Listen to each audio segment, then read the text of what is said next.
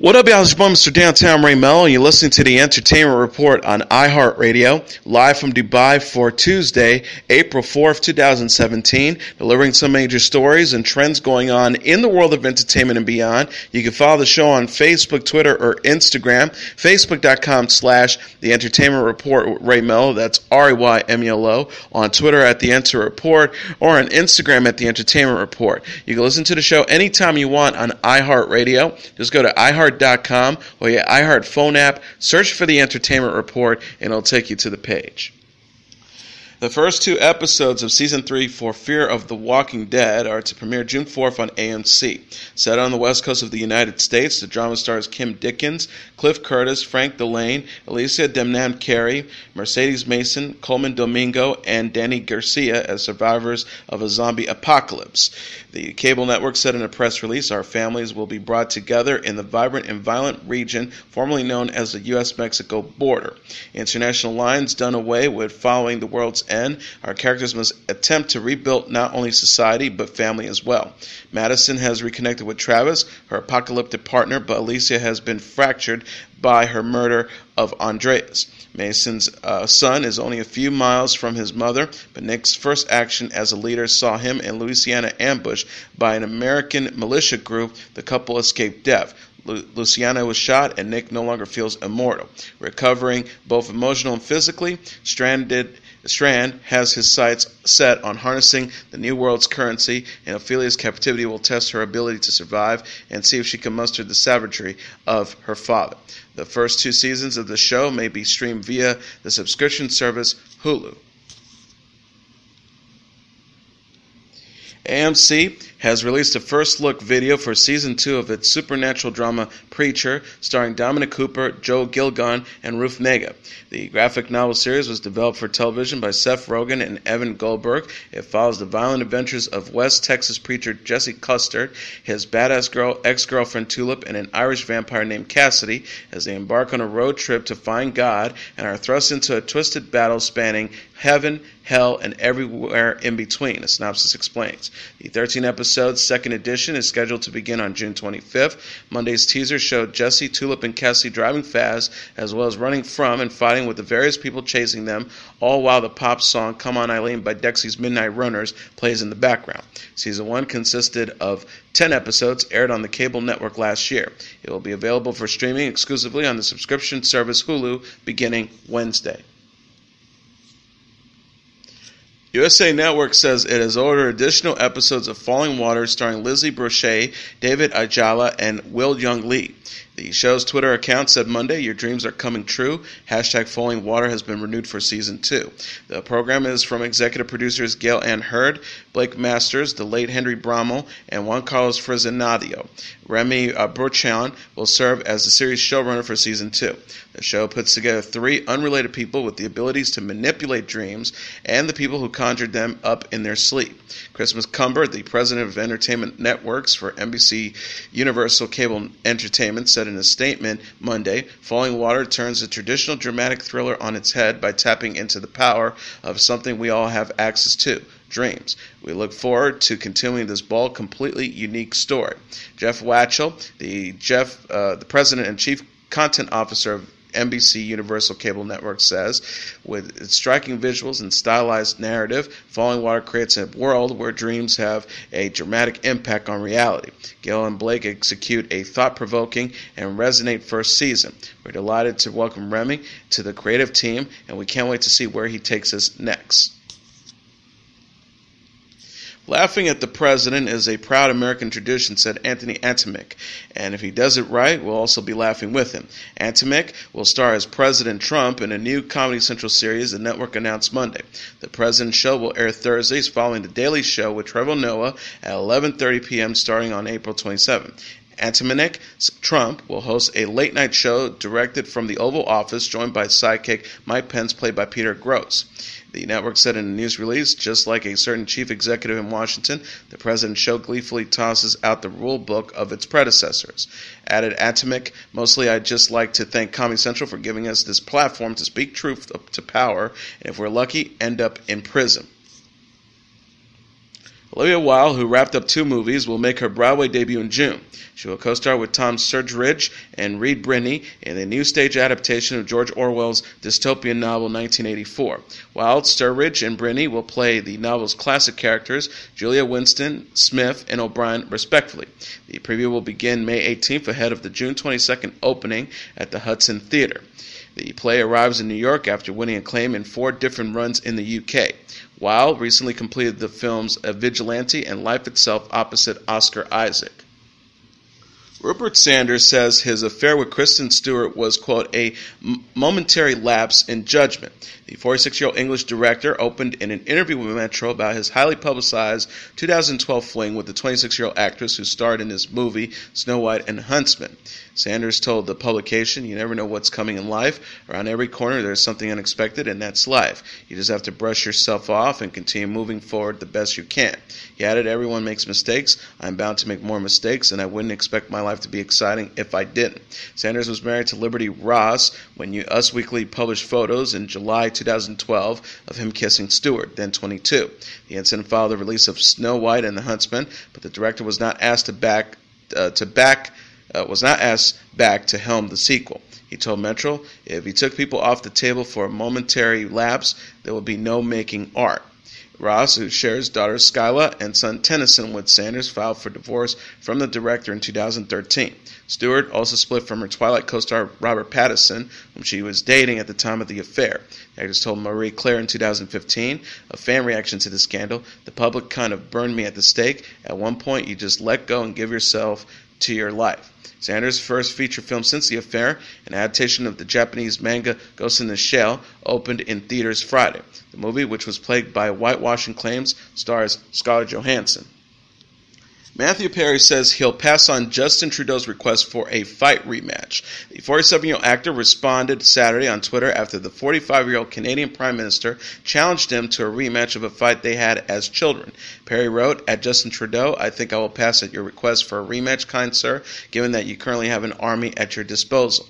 Trudeau asked for a rematch Friday after Perry shared the story of their fight on Jimmy Kimmel Live in March. The Prime Minister referenced Perry's friend's character Chandler Bing in his tweet. He wrote, I've been giving it some thought, and you know what? Who hasn't wanted to punch Chandler? How about a rematch at Matthew Perry?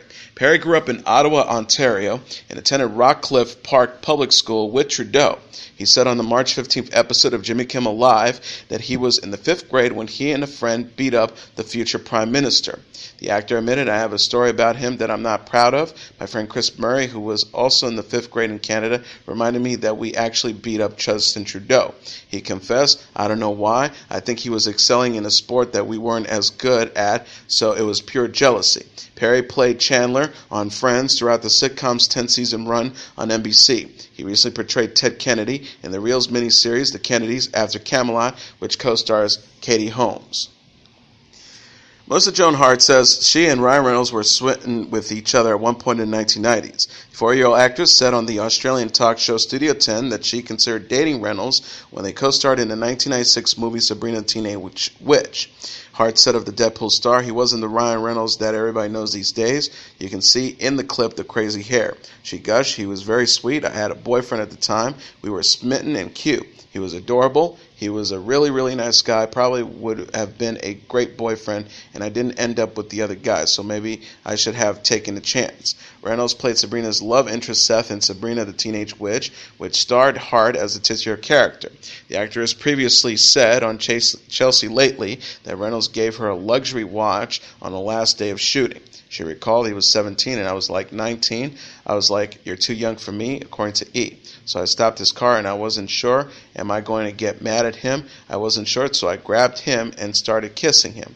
Hart, who had also played Sabrina on seven seasons of Sabrina and the Teenage Witch series, married Mark Wilkerson in 2003 and shared three sons, Mason, Braden, and Tucker, with the musician. Reynolds shares two daughters, James and Inez, with wife actress Blake Lively. Camping World Stadium's 75,245 strong had quite the view Sunday, April 2nd, for the show of shows, WrestleMania 33, ending with a nod to the career of an icon. The Undertaker left his hat, jacket, and gloves in the ring following a loss to Roman Reigns in a no holds barred match in the final bout. Jim Ross called the main event, which began with both wrestlers exchanging shots in and out of the ring. The dead man led off by choke slamming the big dog onto the commentator's table before calling for his foe to coincide but instead Reigns retaliated with the spear into the Phenoms to swing back momentum. The Undertaker's next effort was a last ride and barrage of chair attacks. The big dogs barked back with a Superman punch. The Undertaker again fought back using a choke, choke slam. He would set up his signature tombstone piledriver when Reigns miraculously escaped from the Undertaker's grasp and deployed a Superman punch and another colossal spear. The dead man retaliated with a Hell's Gate, but Reigns again returned with another chain a chair assault and threw in a Superman punch after two cringe-worthy spears. But his next spear would be the deciding blow, just as the Phenom rose gracefully during his classic introduction. He would not fall to the mat in an equal act of class. Reigns finished off the dead man with another spear to send him down. After the loss, The Undertaker departed the ring by dropping off his wardrobe and walked down the ramp floor under the watchful eye of the WWE Universe. In Raw's Universal Championship, Brock Lesnar pulled off his first victory against the champion, Goldberg. The Beast slammed the door on Goldberg's comeback run despite looking down and out Uh, for portions of the of the matchup. The Beast began the match with an incomprehensible triple German suplex, but Goldberg returned with two six spears to inca- incapacitate the Beast, forcing him to roll out of the ring. Goldberg then added another spear to drive Lesnar through the barricade. The duo climbed back into the ring, but Goldberg spoiled Lesnar's F5 and returned with the spear. Goldberg's jackhammer didn't work as planned when Lesnar stunned the champion by kicking out of it. Then things began to decline for Goldberg. Another spear attempt was blocked when Lesnar jumped over the Universal Champion, making him drill his head on the unforgiving ring post. An impossible barrage of six German suplex and an F5 ended Goldberg's night in a quest for a 3-0 record against the Beast. It's hard to top the grandest state of them all when considering an engagement venue. But the big question wasn't the only thing in doubt during John Cena and Nikki Bella's mixed tag team match against The Miz and Maryse. The match began with Al Roker clinching the mic at center stage. After Roker departed, Miz and Maryse claimed an early edge. Cena attempted to get help at the beginning of the match by tagging in his girlfriend, but Miz's spouse denied the effort by overwhelming uh, by overwhelming Bella from behind. The Miz repeatedly kicked a kneeling Cena in the chest as the massive crowd roared with every boot smack. He walked over to Bella and mocked her beau's You Can't See Me move, which resulted in a vicious slap to the face. Eventually, Cena was able to tag Bella, and the couple gained control of the matchup. Bella quickly took down Maryse before diving between the ropes and into a struggle, struggling Miz. The duo's double knuckle shift uh, shuffle was followed by Cena's attitude adjustment. Nikki then came through with a Rack Attack 2.0 for match winning double pins. Many wrestling lovers were not surprised by what came next, but it was nevertheless a special moment when Cena opened his victory speech with a heartwarming story. The tale profiled a time when Bella was being wheeled into a surgery. During the traumatic time, Cena asked Bella if she knew that he would one day marry her. Cena then dropped to one knee on the mat and asked for Bella's hand in marriage. Cena said, I've been waiting for so long to ask you this. Stephanie Nicole Garcia Colace, will you marry me? She quickly said yes as Cena slid the giant gem band down her finger, resulting in more romantic embraces and long kisses. Seth Rollins' knees was everyone's knees Sunday at the showcase of the Immortals. Triple H showed no mercy in a non-sanctioned match, dominating the Architect with a relentless barrage assaults on Rollins' notoriously weak leg. The man who arrived in a helicopter was flying high during the assault, Rollins roared in pain as the game did everything he could to detach the joint from his body. The King of Kings gifted Rollins a DDT on the top of the announcer's table and then slammed a steel chair into the injured leg. But the architect was just pouring some foundation for his prime construction. The newfound King Slayer, who carried a torch into the ring, returned with the running buckle bomb. He was then tripped by an interfering Stephanie McMahon, setting up the game for a couple of reverse four figure leg locks. The King of Kings miffed on a second rope pedigree, leaving the architect room for a chair slam to the face and a Phoenix splash. McMahon wasn't done in engaging in the battle. She helped teed Rollins up for the game's offensive attack, but was unsuccessful as the architect kicked the King of Kings into her. Rollins then showed off a pedigree after the smashing the duo through a table. That would be the decisive blow for the King of Kings. Although the crowd was a bit smaller than the 101,763 watching live last year, it still basked the light of the show of shows. Hardy Boyz were a big reason for the illumination in the Raw Tag Team Championship triple threat ladder match. Matt and Jeff Hardy pleased fans with their stunning return to the showcase of the Immortals. It would also be just like Luke uh, Gallows, Karl Anderson, Cesaro, Sheamus, Enzo Amore, and Big Cass in a trio tussle. WrestleMania's hosts, uh, The New Day, were making a cameo in the group fight when they walked down the Yellow Brick Road ramp. They were just announcing the arrival of the Icons. The New Day told fans, ladies and gentlemen, as your WrestleMania host, we must inform you that we have just received word that this ladder match has now become a fatal four way, which means there is one more team involved in this match. Now, I wonder who this fourth team could possibly be. Team Extreme's theme song blasted through the speakers as they reached the ring for the fight dooming the other squads. Big Cass uses massive frame to boost Enzo more than seven feet in the air, but the attempt was put down by, from a barrage by the brothers. Matt Hardy's twist of fate doomed Anders from the top of a ladder. Jeff used a swanton on top of a duo of ladders that were hoist the Swiss Superman and the Celtic Warrior. The Hardy Boyz then grabbed the, rag tag, the Raw Tag Team titles after Matt ascended on the ladder in the ring.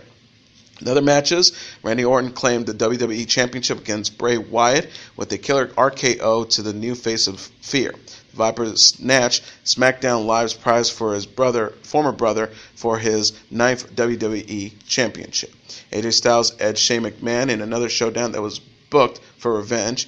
Weeks before the bout, the Phenomenal One threw McMahon through a car window. Team Blue General Manager Daniel Bryan fired Styles for the incident, but McMahon overturned the ruling to allow him in the fight. The Phenomenal One mistakenly knocked out the match official en route, but ended the match with his phenomenal forearm to WWE's Man Without Fear. Super Bowl 51 championship Rob Gronkowski had his hands on the evening from the start. In the opening match, Gronk aided his pal Mojo Rawley, the fourth annual Andre the Giant Memorial Battle Royale. Rawley claimed the victory by knocking off Jinder Mahal. Uh, Mahal. Mahal and Gronk had gotten into a heated altercation at the beginning of the matchup. Gronk was cheering for his friend ringside as Mahal took an early edge. Mahal then walked over to the New England's Patriot tight end, throwing a drink in his face. Gronk responded by jumping over the crowd, retaining walls, ripping off his shirt, and climbing into the ring. He then hit Mahal, incapacitating him enough for Rawley to finish off Killian Dain and set the stage for a final bout between Rawley and Mahal. Mahal finished NXT's only participant in quick fashion to claim the victory. Bayley defeated Charlotte Flair Sasha Banks and Nia in a fatal four-way elimination match for the Raw Women's Championship at the Show of Shows. She retained her title with an excellent elbow, dropping after an untangled, untangling herself from the ropes and soaring from the rooftops. Naya Rivera poked fun at David Spade's dating rumors in an Instagram story video Saturday. The 30 year old actress appeared to respond to reports after she was spotted getting close with the 52 year old actor and comedian in a pool in Hawaii. She said in the clip, Holy shit, guys, the Easter Bunny and the fucking Tooth Fairy are for sure dating. I just saw them. Rivera were all smiles Friday as she cuddled with Spade in the pool at the Halekulani Hotel in Waikiki. The pair were joined by Adam Sandler and Rob Schneider, who performed with Spade that night on the Here Comes the Funny tour. Sources told Entertainment Tonight they were very happy. They looked pretty comfortable together. The insider added, Naya was in uh, Hawaii with a friend and met up with David. They have known each other a little bit through friends. Rivera and Spade recently appeared together in the Crackle movie Mad Families. Us Weekly reported the pair, quote, started seeing each other a couple weeks ago. Source said, it's casual, they're having fun. Rivera filed for divorce from husband Ryan Dorsey in November after two years of marriage. She shares 18 month old son Josey with the actor, while Spade is dad to 8 year old daughter Harper with ex partner Jillian Grace. Mariska Hargitay delighted fans by reuniting with Christopher Meloni for his birthday over the weekend. The 53-year-old actress shared a sweet photo with her former Law & Order SVU co-star while celebrating the actor's 56th birthday Friday. She captioned the picture on Instagram, Happy birthday at Chris underscore Meloni, PFL. Uh, Hargitay and Meloni played partners Olivia Benson and Elliot Stabler on Law & Order SVU. The actress still stars on the NBC series, while Meloni left the show in 2011 after 12 seasons. The actor said of his dynamic with Hargitay on Inside the Actor Studio in 2016, there was always an unspoken shorthand to what we were doing. There's a lot to be said for that when you're working with someone for 16 hours a day. Um, he also added, Oh my God, we were always cracking up, constantly trying to make each other laugh. You know, not in certain scenes, but yeah, constant bursting chops. Hargitay Meloni previously reunited in February following Valentine's Day and shared a holiday photo together in December. The actor told Entertainment Weekly in May that he'd like to return to SVU before the series ends. He said, I always present that I'd be open to doing the last few episodes, so that's really all I have to say about that. It's not up to me. I'll just say that. I've said my piece on it. Jennifer Lopez introduced new beau Alex Rodriguez to her mom over the weekend. The 47 year old singer was spotted Sunday with the 41 year old retired Major League Baseball star and mom Guadalupe Rodriguez in New York, according to TMZ. Lopez was all smiles as she strolled arm in arm with Rodriguez with her mom by her side. She previously met Rodriguez's sister, Susie Dunand, who shared a photo with the Your Mama singer in March. Dunand captioned the picture with the Spanish word for sister-in-law, any given Friday, um, hashtag JLo. Lopez and Rodriguez were first linked in March and enjoyed a getaway to the Bahamas the same month. The former New York Yankees shortstop confirmed his romance with Lopez on The View last week. He says, It's obvious we're dating, we're having a great time. She's an amazing, amazing girl, one of the smartest human beings I've ever met, and also an incredible mother. The star added, She's just like simple things. She's a very, very simple person. She loves her family. Lopez shares twins Max and Emme with ex husband Marc Anthony, while Rodriguez his dad to daughters Natasha and Ella with ex wife Cynthia Scurtis. The couple reportedly bonded over their love for family. Prince Jackson got a new tattoo honoring dad Michael Jackson over the weekend. The 20 year old aspiring producer, born Michael Joseph Jackson Jr., paid tribute to his father by getting a tattoo of the late singer on his calf. He captioned a video on Instagram of his new ink. Thanks at Dermograph Ink for sitting nine hours with me for such an incredible and beautiful tattoo. I will be posting more of this. The tattoo showed a winged version of Michael in one of his signature poses. Prince followed up Monday by posting a close up picture of the bottom portion of the tattoo. He wrote, The details are incredible. Prince is the eldest son of Michael, who is, who is also dad to 19 year old Paris, born Paris Michael Catherine Jackson, and 15 year old Blanket, born Prince Michael Jackson II. Prince and his sister got matching yin yang tattoos last week. Paris wrote, Sometimes I feel like my big brother and I always think the same thoughts. He just doesn't have a filter and always vocalizes them. Though total opposites, like my Guko and I, the inseparable yin and yang work together, finding and causing balance within each other. Prince said in an interview with Good Morning America in March that it took a while for him and his siblings to realize the extent of his dad's fame. Michael Jackson died at the age of 50 in 2009. Prince said, even after we realized he was the king of pop, even to this day, I don't think it holds the same weight to us as to others because he was our dad. And that was your entertainment report for Tuesday, April 4th, 2017. I'm your host, Mr. Downtown Ray Melo. I'll be back tomorrow to deliver some major stories and trends going on in the world of entertainment and beyond. You can follow the show on Facebook, Twitter, or Instagram. Facebook.com slash The Entertainment Report with Ray Melo. That's R-Y-M-E-L-O. On Twitter at The Enter Report or on Instagram at The Entertainment Report. You can listen to this episode or any previous episodes of The Entertainment Report anytime you want on iHeartRadio. Just go to iHeart.com or your iHeart phone app. Search for the Entertainment Report and it'll take you to the page. Good night and God bless you all.